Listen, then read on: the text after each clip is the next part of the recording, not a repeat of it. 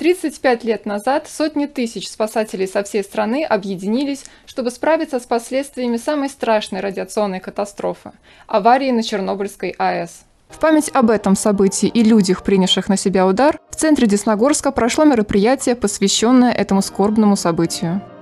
Героизм ликвидаторов последствий аварии на Чернобыльской атомной электростанции является ярким примером отваги и верности служебному долгу, и самоотверженной любви к Родине.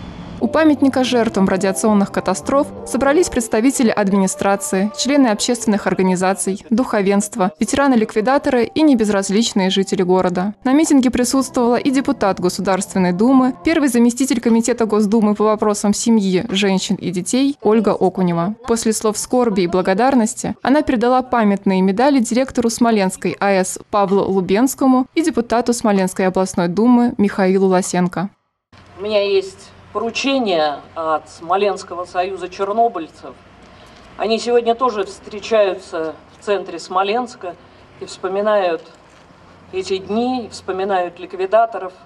И председатель областной организации попросил меня вручить две награды – После митинга ветеранов-ликвидаторов ждали в Центре культуры и молодежной политики. Здесь за храбрость и самоотверженность участникам ликвидационных работ вручили памятные юбилейные медали 35 лет ликвидации аварии на Чернобыльской АЭС.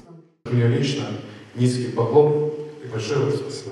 Награды получили 8 человек. Ранее еще 14 медалей были вручены членам Десногорской общероссийской организации «Союз Чернобыль» в Смоленске.